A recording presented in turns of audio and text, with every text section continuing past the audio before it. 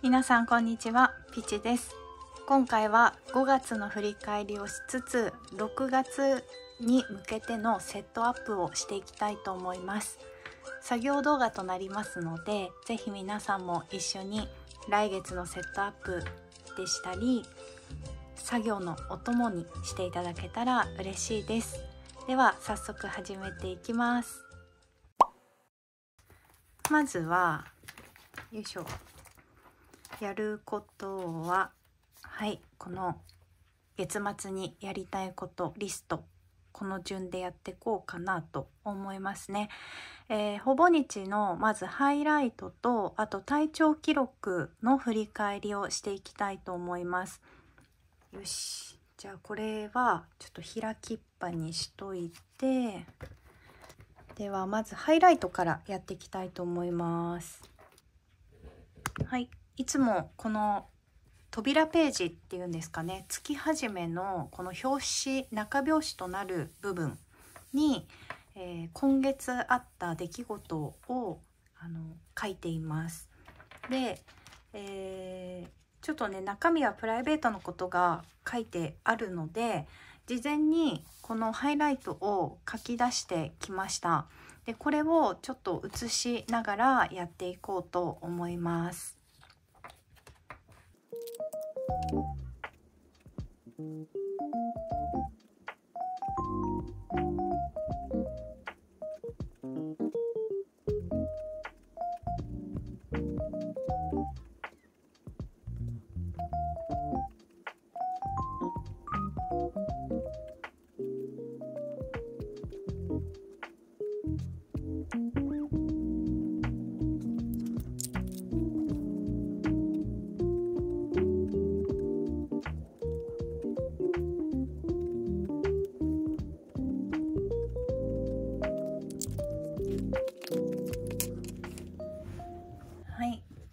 わりました。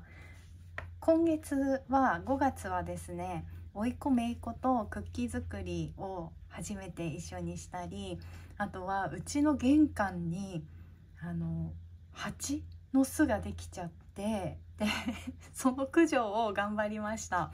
スプレーでなんかすごい噴射してであのなんだっけつついて本当集まり動物集まれ動物の森の世界みたいな。つついて蜂の巣を落としてみたいな感じで駆除を初めて頑張りました。でそれから、えー、博物館にも行ったりあとは初めてお寺に行ってあの法話を聞いたりとかもしてきました。それから文具マーケットであの文房具も結構楽しんだりしてあとは好きなドラマのロケ地巡りをしたりあと海でチェアリングをしてみたり。で5月の後半には映画館で念願の映画館やっと行けました「あの馬娘」の映画を見てきました。この5月は本当に充実していたなと思います。で今年のゴールデンウィークは特にねあの遠出したりとかはしない代わりに外食をすごく楽しみました。あの本当に美味しいものを食べれて幸せな連休でしたね。はいこんな感じで、えー、扉ページの内容は書き終わりました。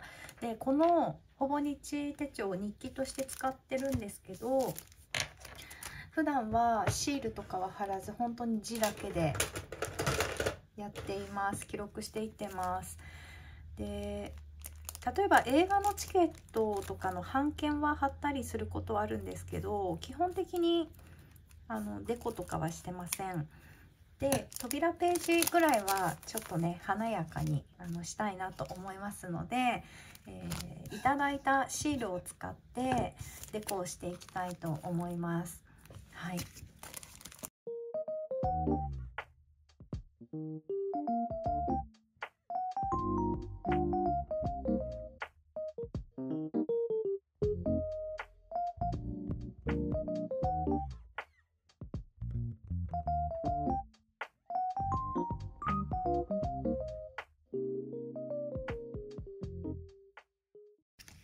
い出来上がりました。これでハイライトが終わりですね。次は体調記録の振り返りに行きたいと思いますはい体調記録はあのほぼ日のマンスリーページを使って書いていますなのであの何か症状があった時にはここに書いてたりとかしてるんですけどあの書き込みが少ない月ほど健康的に過ごせたっていうような感じになってますね。で残念ながらちょっとねあの月の半分後半からちょんちょんちょんちょんちょんちょんって全部こうついてるんですけどあのー、そう実は5月のその中旬らへんにですねなんていう名前だったっけかなちょっとチューブ干渉チューブ干症候群っていうやつになんかなっちゃってってであのこのね今ずっと薬あ薬指じゃない小指がしびれてるんですけどそう最初はあの薬指と小指だったんですけど今ちょっとねあのそう病院行って薬もらってでだいぶねなんかこう和らいできてはいるんですけどそうあのちょっとねしびれと今ともに過ごしてます。はい。でなんかなんだっけ理由というかなっちゃった原因みたいなのがやっぱこう腕肘の酷使だったみたいなのであのデスクワークされてる方とかあとはあのめちゃくちゃこう手帳を書きまくる方とかあの気をつけてくださいね。本当にねあの急に何の前触れもなく朝起きたら急にしびれちゃってて最初ね寝違えたんだと思ったんですよ。そう寝違えたと思ってたらなんかで様子見てたんですけど全然しびれが一向に引かないのでなんかおかしいなと思って、まあ、整形外科行ったらなんかそういうやつになっちゃってた。なんか神経がみたいな感じだったらしいんですけどそうなっちゃったので あのデスクワークとかでねこうなんかパソコンとかこうあのよくやられる方たまにねこうなんか腕こういう風に伸ばしたりとかしてマッサージとかねストレッチとかしてあの気をつけてください。はい。いやーびっくりしたって話なんですけど。はいそんな感じだったので、えー、こんあの結構ね書かれちゃってます。はい、ということで、えー、まああの暗い話ではないので 至ってあの元気ですしあの心配はあの大丈夫ですので、はい、一応ねあのもう隠せずにはいらいられないかなと思いましてあのさらっとご報告をさせていただきました。えっ、ー、とね何だったっけ？チューブ間症候群に。なった、えー、それ以外は。特に。問題なしでした。はい。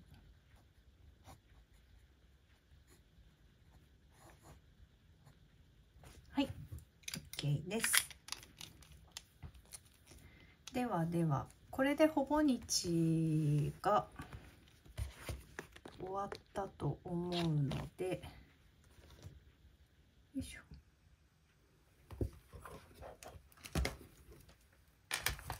次。次は何でしたっけ？えっ、と、あ、SNS のマンスリー集計は、ちょっとね、今回は飛ばさせていただきます。次は、ピュアライフダイアリーの今月の振り返りですね。よし。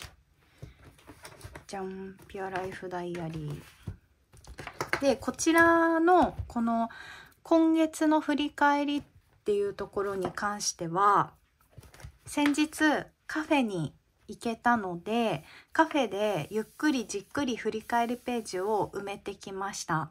はい。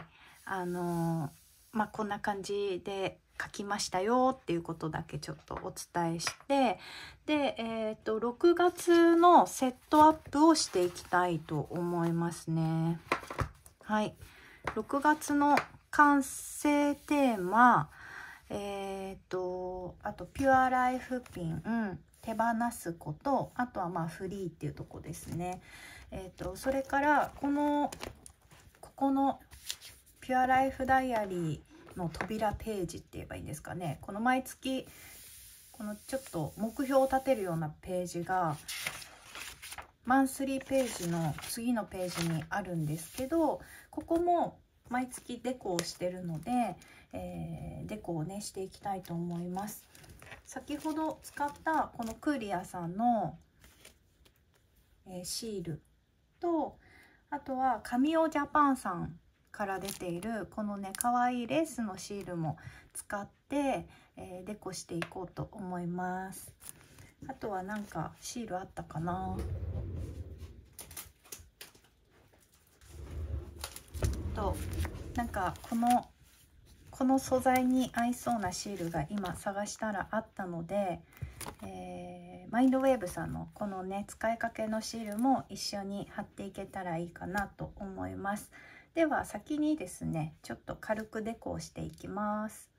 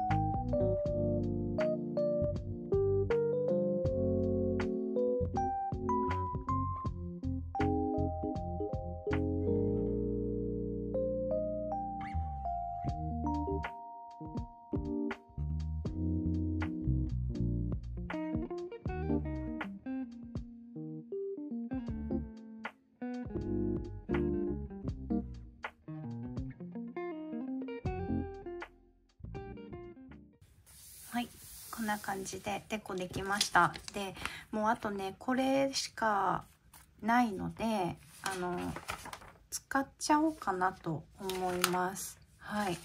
でえっ、ー、とここ？フリーのところにねちょうど使えそうなのでちょっとこの次のページのところをね貼ってっちゃいたいと思います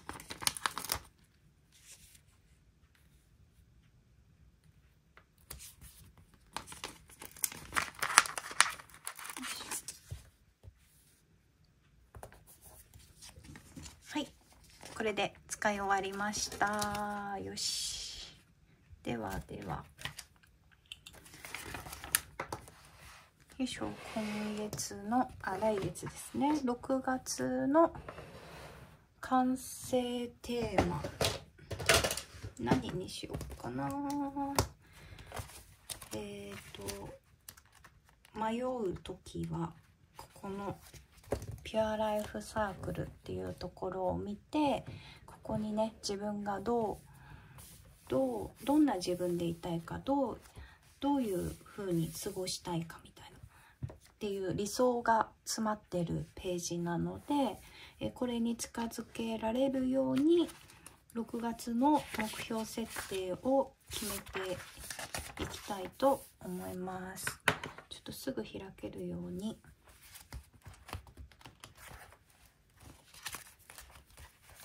挟んどいてうん。あそうだな。あのー、そうちょっとそうここにはないんですけどそうあのやりたいことがあった。感性を磨くためにやりたいこと。あのお絵描きをインクインクだったりとかその絵を描くとかそのなんだろう色で、えー、なんか感性をね磨けて磨いていけたらいいなと思っているので色を楽しむにしたいと思います。色のじゃない色を楽しむ。で例えばイラスト描くとかあの万年筆インクで遊ぶとか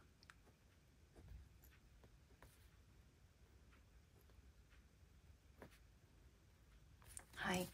そういったことをやっていきたいなと思いますね。で、えー、ピュアライフピン。ピュアライフピンはこれこそ見たいよな。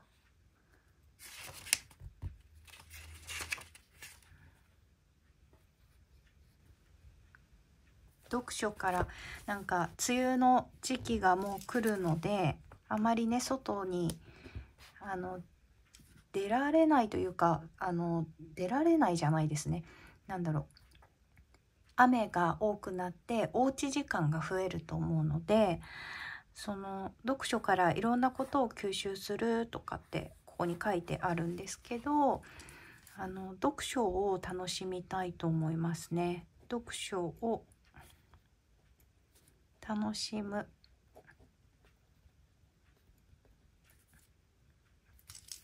それから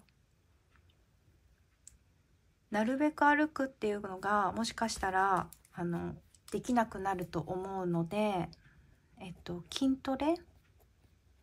筋トレやストレッチで、えっと、運動不足を解消したいと思います。運動不足を解消する。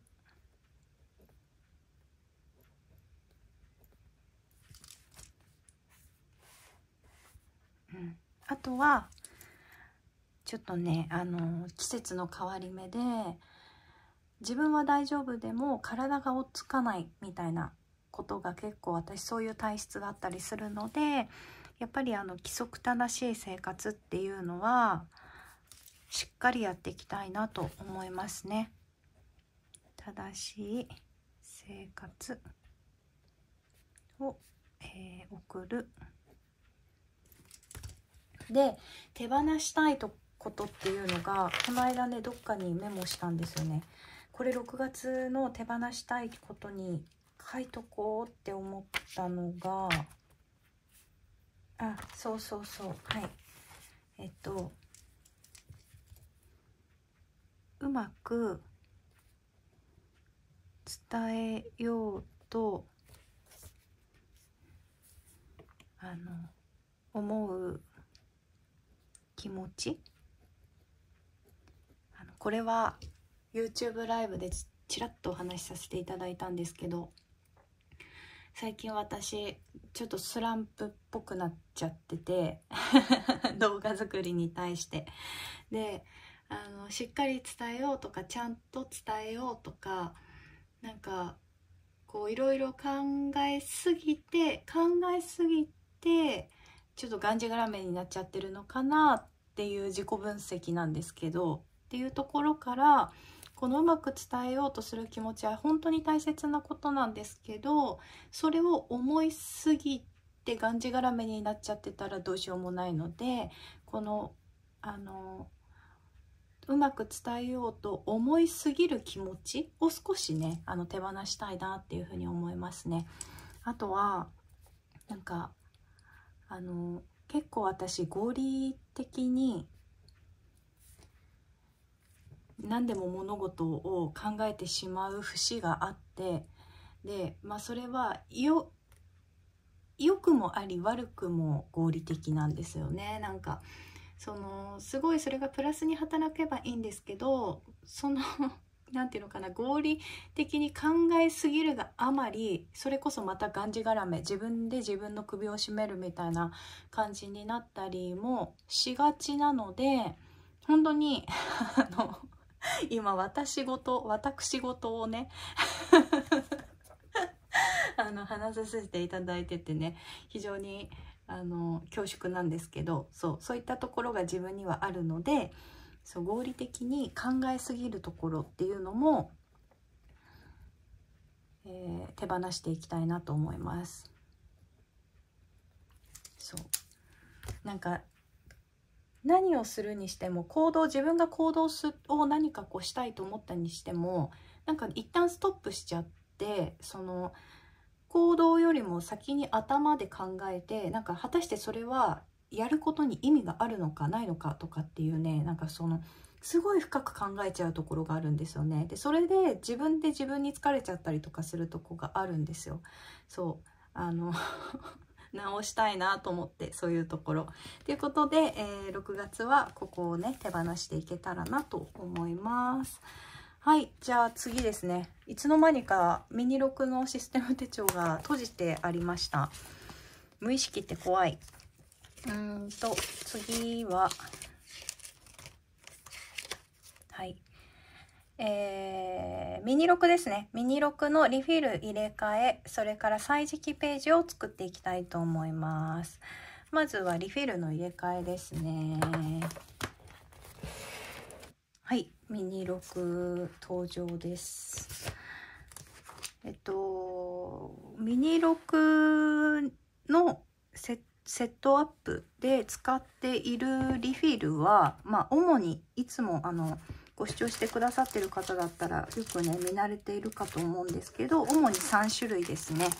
えー、アシュフォードさんのデイリーダイアリー曜日なしデイリーダイアリーとあとはこちらもまたアシュフォードさんのフリーデイリーメモですね。それから、えー、これはキーワードのフリーマンスリーのブロックタイプっていうのを使ってます。主にこの3つかなです。で、えー、これね、まだ2024年分の、あのー、ファイルを買ってないので、今のところ、このフリー呼び出しデイリーダイアリーは閉じ紐でこんな感じで閉じてってるんですけど、この中にはですね、去年からちまちま書いている歳時記ページのページがあるので一緒にねここに歳時記の記録に関してはここに入れてっています。はい。えー、使うリフィルとかファイルはこんな感じですね。はい。で、えー、リフィルの入れ替えということで、まずは、じゃあ、この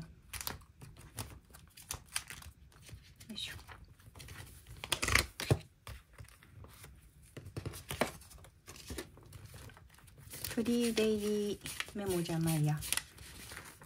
なんだっけ、えー、曜日なしデイリーダイアリーの方を抜いていきます。これ、どうなる？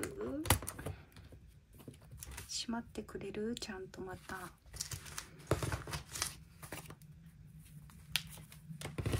はい、閉じました。で、これが6月分ですね。6月分はここかな？はい。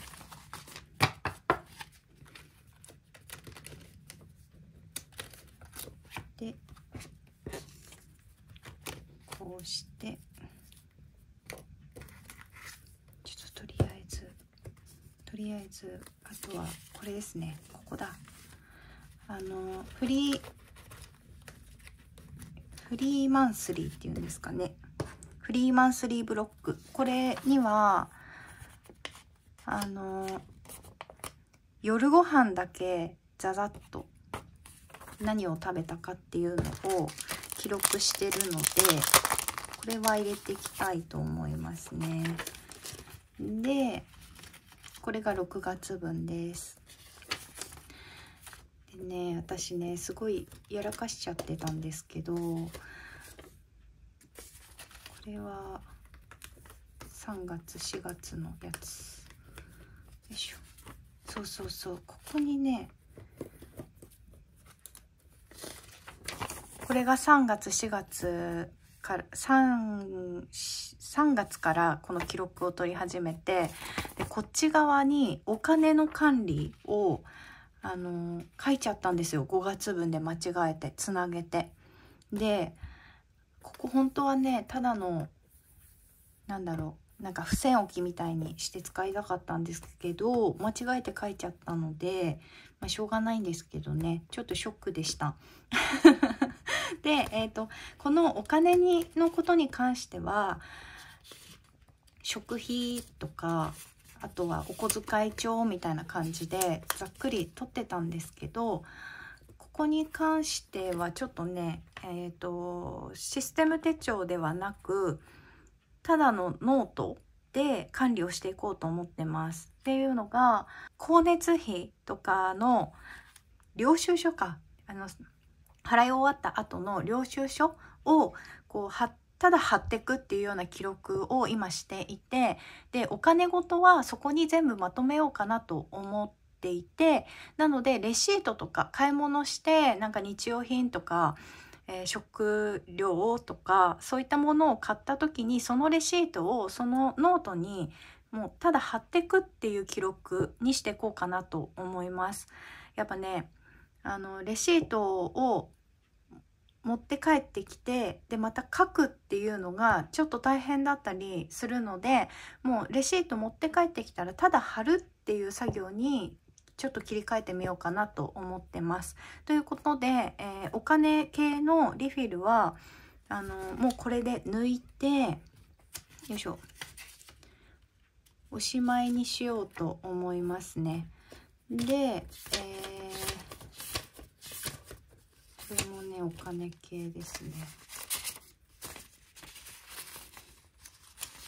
そうこれもお金系お金系でえー、っとこのマンスリーリフィルにあ、マンスリーリフィルじゃない。ウィークリーリフィルには、こういった感じで、あの、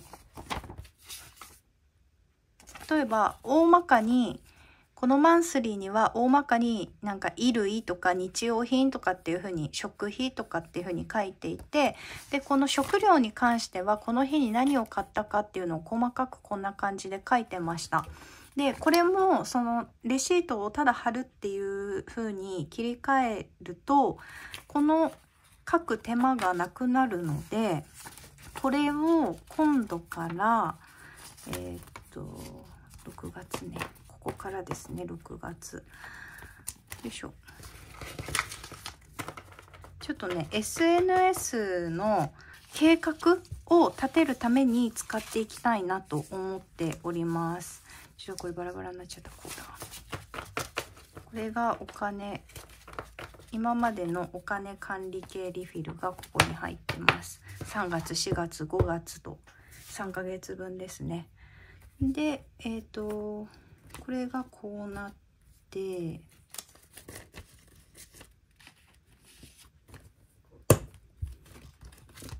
で今度 SNS ページに SNS ページにはいこのウィークリーを入れてってまあ大体この日にこれを立てる予定ですみたいなのを書いていくようなメモメモしていくようなページにしようかなと思っています。はい。んでこれはもうしまうやつですね。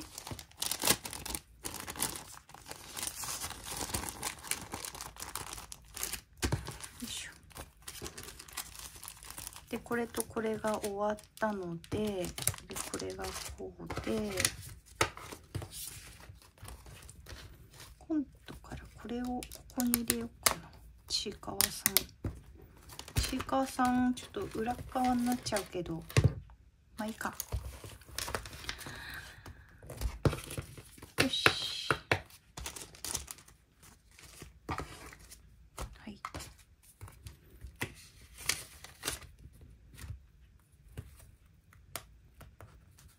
はい。で歳時記ページですね。歳時記はここですね。5月分を取って6月分を書いていきたいと思います。あ6月ですね。6月水無月水無月ですね。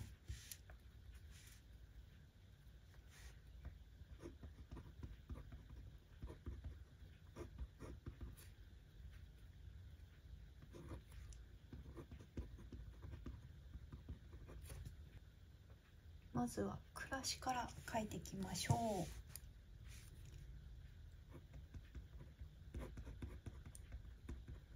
暮らし、えー、衣替え。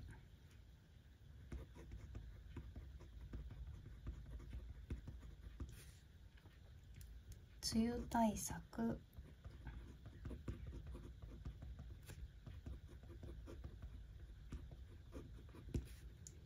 それから父の日の贈り物あそうだ父の日がありますね。父の日。えー、っと紫外線対策。確かにそろそろ出てきますよね。ちょっと待って字を間違えたぞ。紫外線対策と。それから梅干しらっきょう。確かにそうだ。梅干しらっきょう。もう出てますよね。スーパーとかでね。つけ。あとは食中毒対策。あー確かにこれもなそうだよな食中毒対策。であとはエアコンの掃除って書いてありますね。エアコンの掃除。はい。で次はお花ですね。お花。お花たくさんありますね。わーすごいな。お花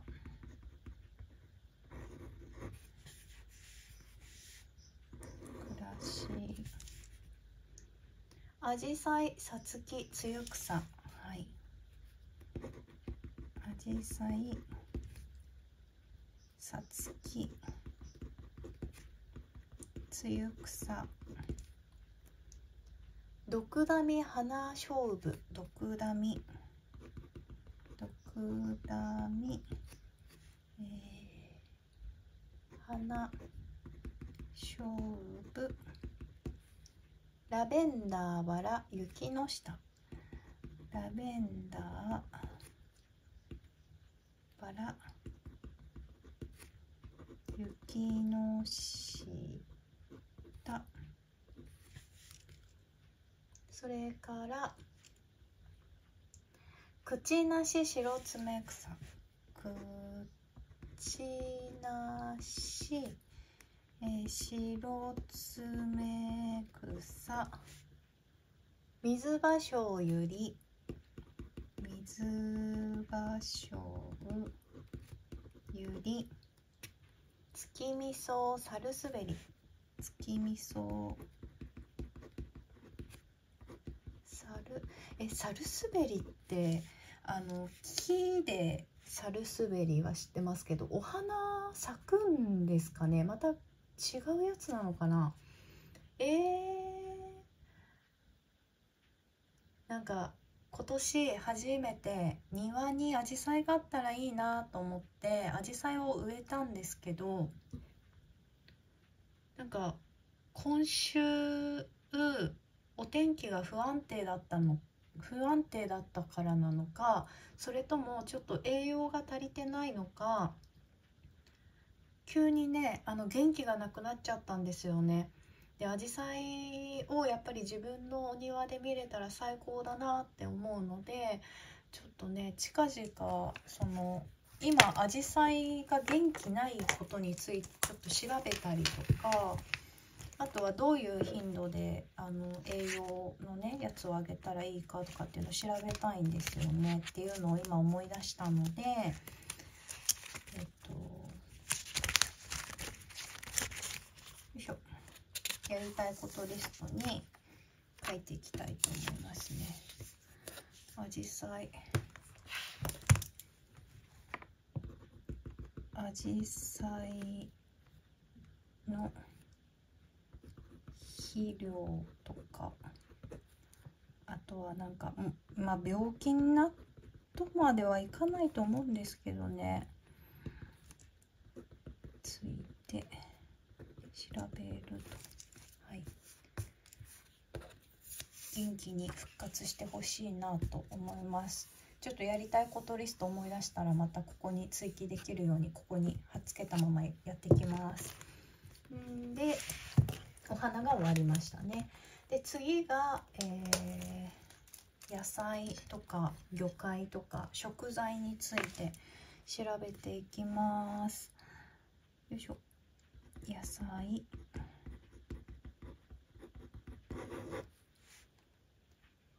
野菜また春菊。え春菊って年中あれな感じかな？なんか毎月春菊書いてるような気がしますね。ここにある春菊。もうちょっとあの春菊の効能私覚えちゃったな。毎月書いてるからか覚えちゃったな。玉ねぎ。アスパラ。アスパラもよく書くよな。アスパラガス、えー、きゅうりトマト。えー、オクラ。ナス。冬瓜。冬瓜の季節来たか。冬瓜ね。去年冬瓜初めて食べたんですよね調理して。その様子が動画に残ってると思うんですけど。そうそう懐かしい。トウモロコシ。えー、ピーマン、らっきょう、さやいんげん。ピーマン、らっきょう、さやいんげん。で、魚介。魚介が、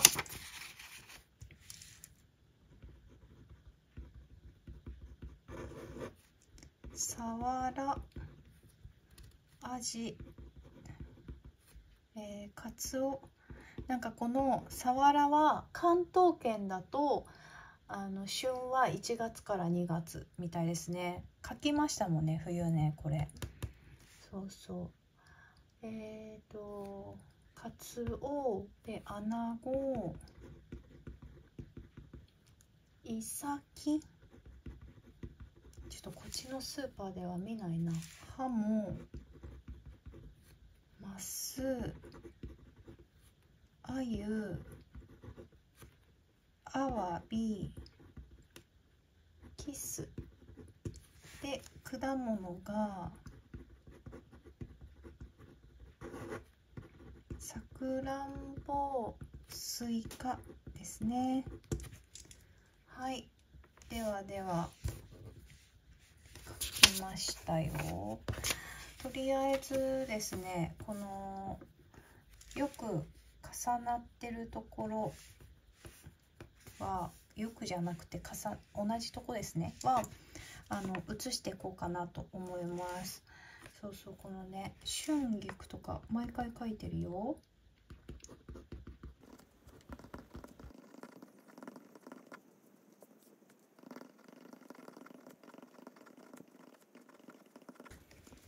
今かぶったものを先に写しました。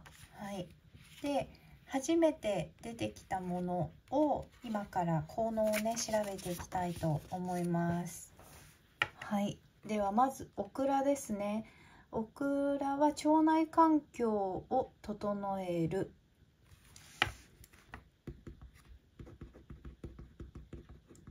腸内。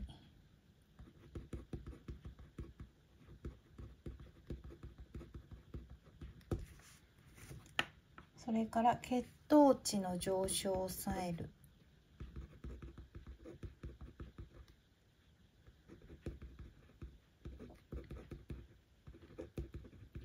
はいですね。あとコレステロール値も低下させてくれるみたいですよ。はい。こちらは私調べなのであのよくね詳しくこう気になる方は詳しく知りたい方はご自身でちょっと調べてみてください。あとは冬瓜冬瓜の効能は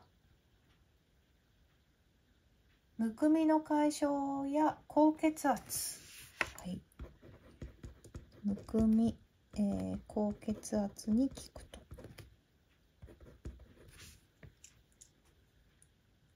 あとは肌の健康維持。肌にもよしと。はい。じゃあ次はトウモロコシですね。腸内環境を整え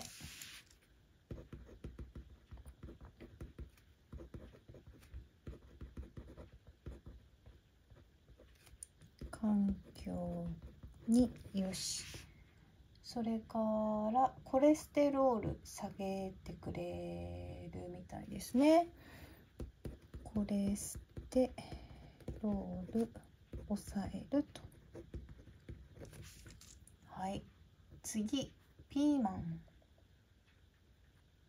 ピーマンは血液をサラサラにしてくれる。血液サラサラ。あと精神安定だそうです。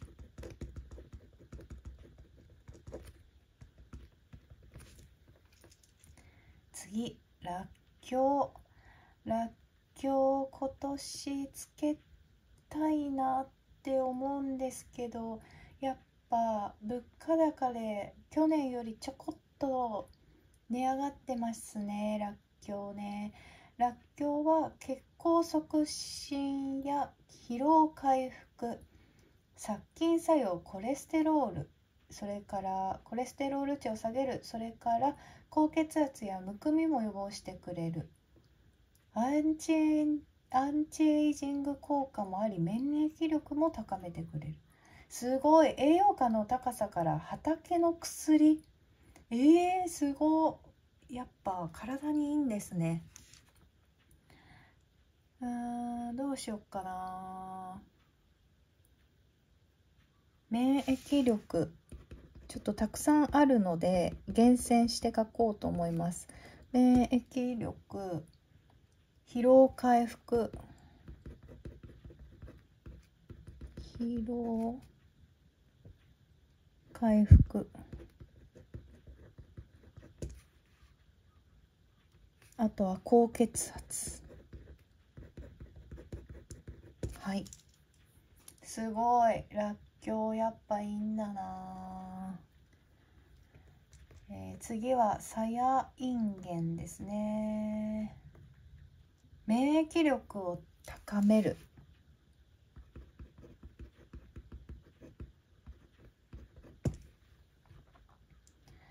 えー、風邪や感染症から守ってくれるそうです。感染症から守ってくれる働き。あとは老化防止肌の老化防止やシミシワの予防にも効果的ということで美肌効果も期待できるんだそうですよ。すごはい。こんな感じですね。えー、次はお魚を見ていきたいと思います。あーカツオはあれですね。ダイエットにいいんですね。高タンパク。ダイエットによくてあとは美肌作りにも貢献してくれてあとはね貧血予防にもなるみたいです。私すぐ貧血になっちゃうのでありがたい。貧血予防ありがたい。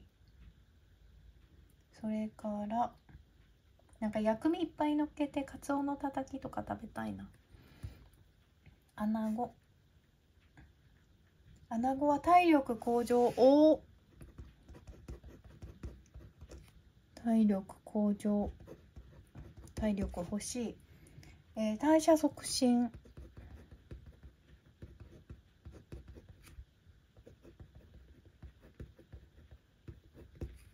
疲労回復。波って書いちゃった。えっ、ー、とあ間違えちゃった。疲労回復。えっ、と。はい。ああとはあなんか良質なタンパク質がなんか魚介類の中ではトップクラスなんだそうですよ。本当なのかな？目粘膜肌の健康維持にいいみたいですね。眼性疲労とかにもいいみたいですね。うーん。そうなんだ。穴子ってそんなただ美味しいだけじゃなくてそんなにいっぱい効能があるんですね。次はハモの効能を調べていきたいと思います。疲労回復や体力免疫機能の向上を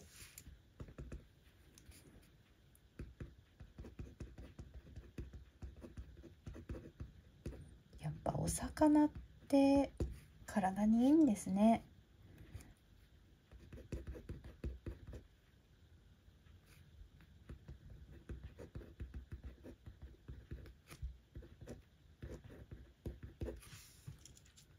次あゆコレステロール値低下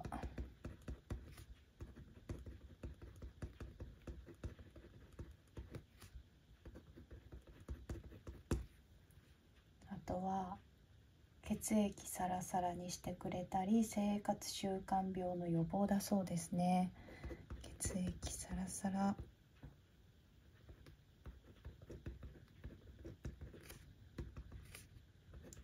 生活習慣病にも OK 効くと。次はアワビですね。ワビは視力の回復なんか目にいいみたいです。視力の回復。それから眼病予防とか肝臓機能もにもいいみたいですね。私ちょっと肝臓弱いのでアワビいいな。は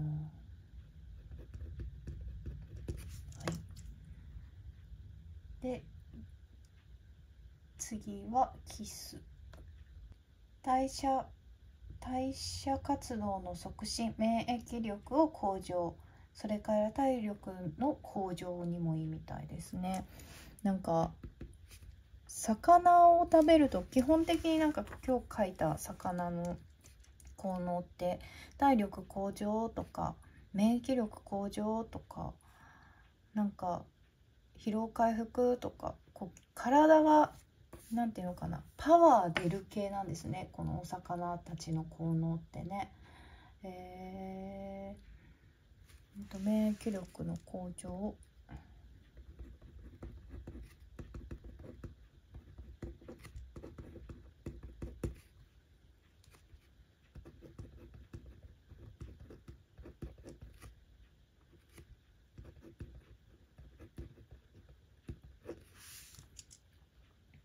で次はさくらんぼに行きたいと思います。さくらんぼはむくみ気管支炎の消炎。病後の回復期疲労による食欲不振美肌美肌に効果があるだそうですね。うーん何を書こうかな。えっと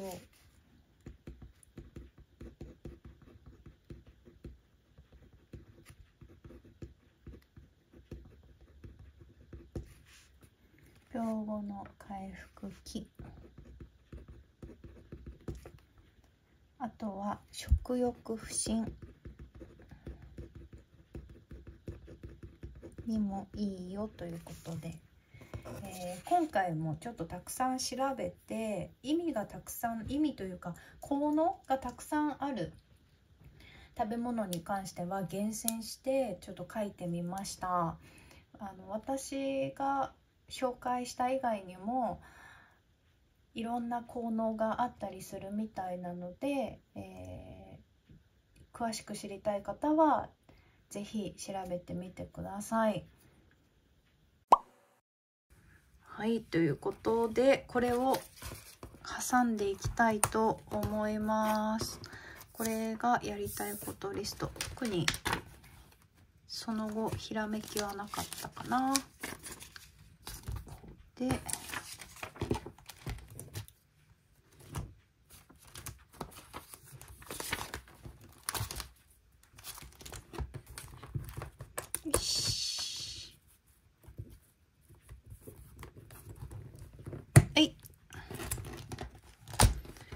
はい。ということで、えー、無事6月のセットアップが終わりました。5月の振り返りもできましたしこれで気持ちよく6月を迎えることができそうです。6月もね楽しく手帳を使っていけたらいいなと思っております、えー、長い動画となりましたが最後までご視聴してくださりありがとうございました。皆さん作業の方はいかがでしょうか？はかどっていてくれていることを、えー、願っております。また次回の動画でお会いできることを楽しみにしております。ピチでした。バイバーイ